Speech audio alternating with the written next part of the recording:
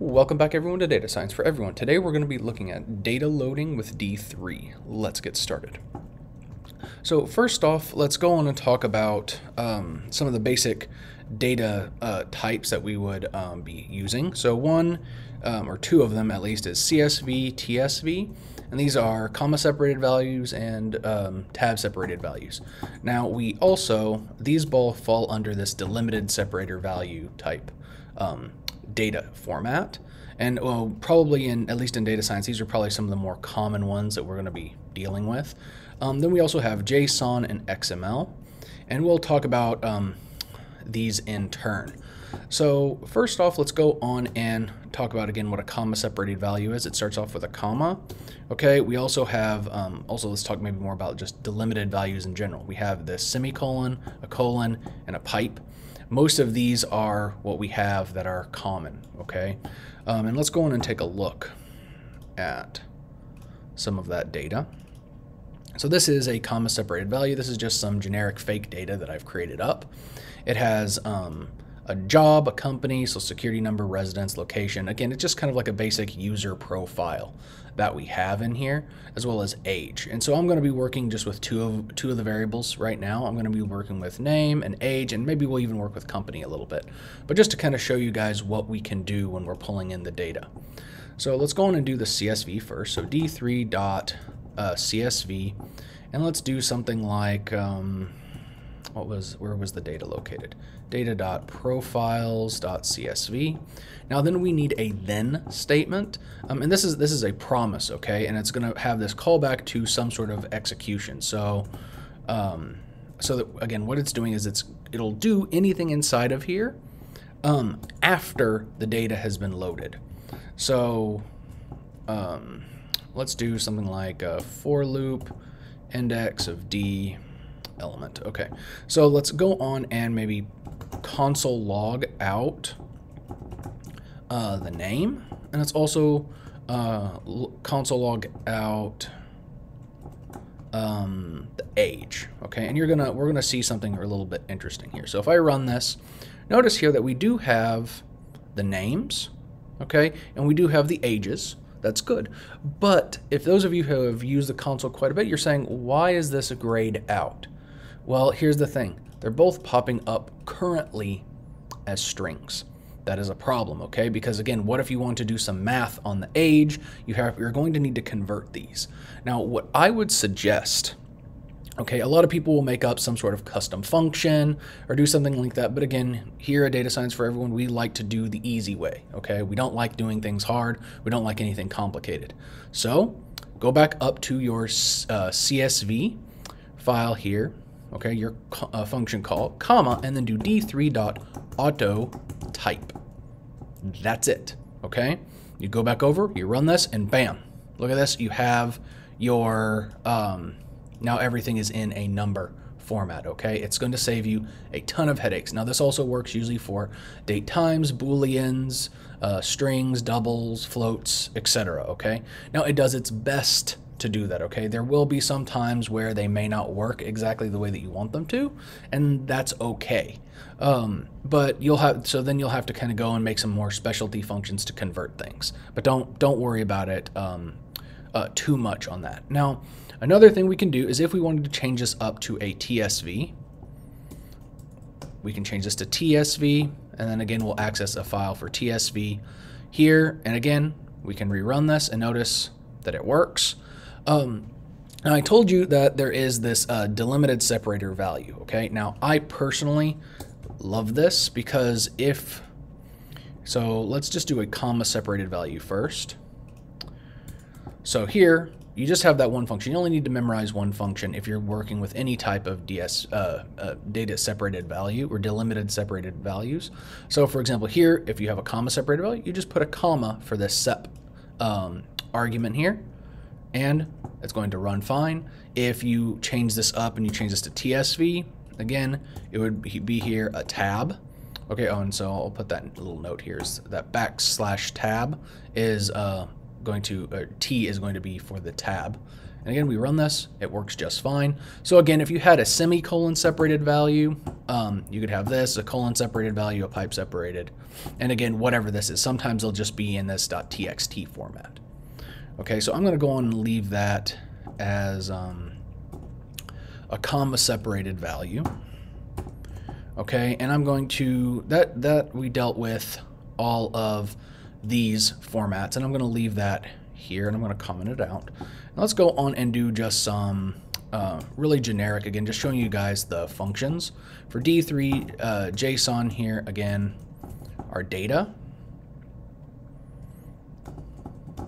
profile.json, then, and then let's do something function d here, and let's actually just uh, console log d for now.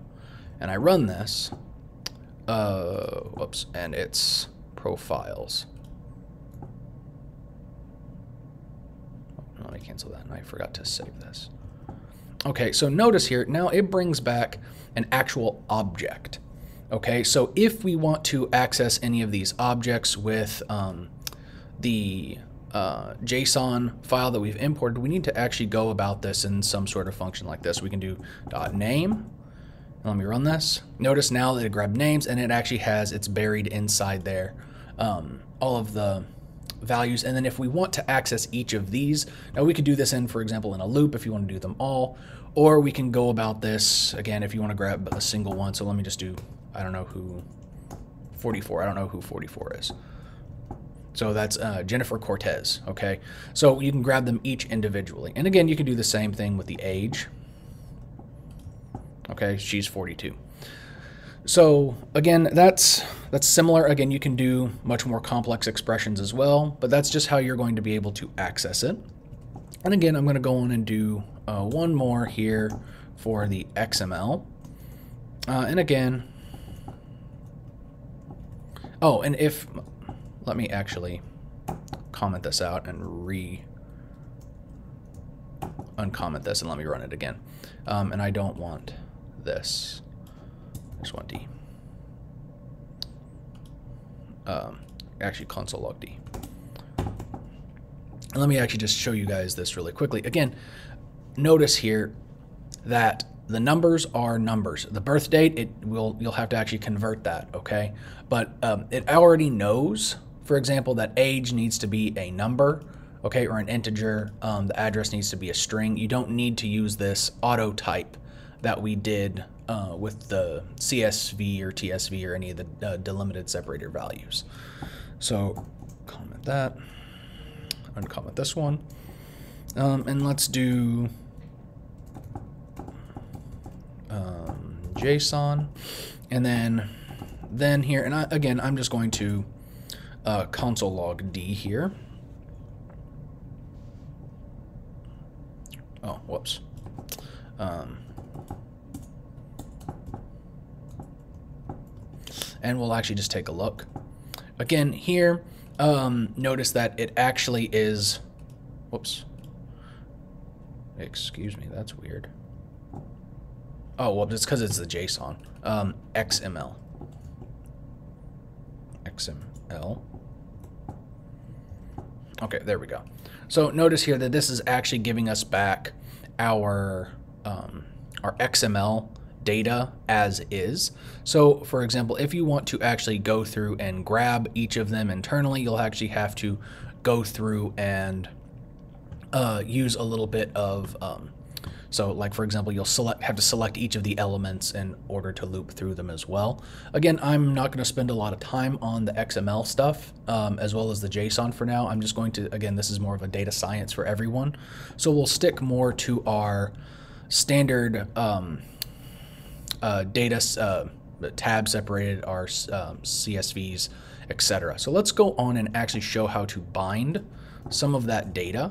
So let's do D3 um, uh, dot DSV. We want comma separated values. We'll do our data dot profiles dot CSV dot then. We're going to create a function here. Um, we're grabbing D here, and what are we going to want to do? Um,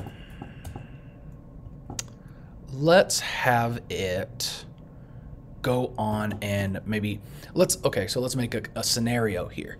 So let's assume that you were given um, this uh, a, a, csv file that has everyone's name their company etc you have some profiles of people and they're going to be hosting uh, some exhibit at your work okay? So then you want to put in and have a website where it has their name comma their company okay um, and maybe some other information in there as well. And you want to put it on the website so that people can see who's attending, where they're from, etc.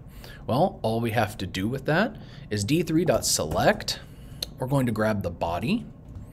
Then we also want to select all. Here we're going to grab the paragraph tags because uh, we'll make these as paragraphs. Um, then let's go on and bind in our data. Then we need to enter our data. Then we want to append here NEP, and then we'll add in some text. So here, let's do something like function of D, um, and here let's return D dot name uh, plus plus what we said company. So let's do comma space plus D dot company.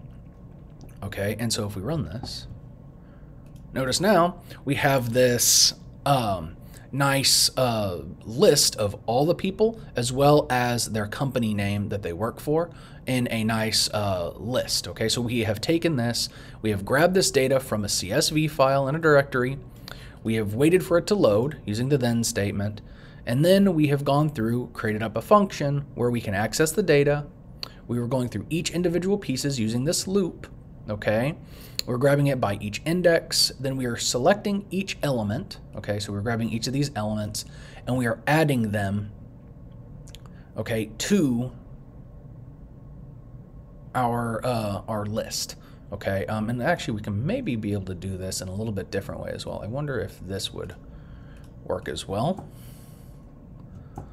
Let's play, play with it just a second. I think we can even simplify this just a, a little bit more.